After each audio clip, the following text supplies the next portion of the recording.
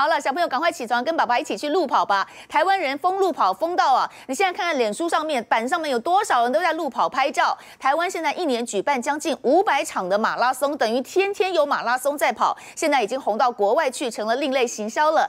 有日本的插画家来台湾参加马拉松啊，很有心得哦，把它画成了插画来介绍台湾马拉松，也吸引更多的日本人到台湾来参加路跑。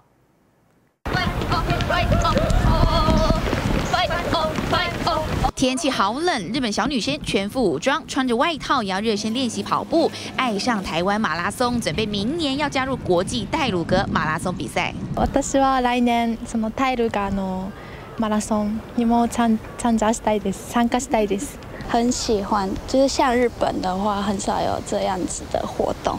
台湾路跑活动夯，一年会有举办近五百场，还因为不少主题，不管是 Color Run 还是造型慢跑，有趣又好玩，吸引不少外国朋友参加，成了另类行销。日本知名插画家高木直子还因此来台参加马拉松，把心得分享画成插画，介绍台湾马拉松。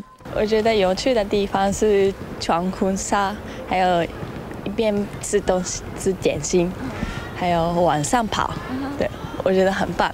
台湾马拉松受到外国人喜爱，主要是因为台湾美景的感染，像是知名的城市马拉松。今年十二月二十一号举办时，吸引三十九个国家两千零七十七位外国人，其中日本人就占了三成。国际泰鲁格马拉松因为可以穿梭在峡谷之间，光是外国参赛者，短短四年就增加了两倍。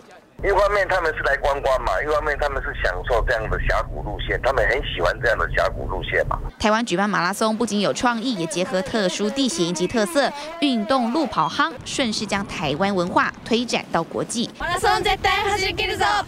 哦！记者陈振茂不思台北采访报道。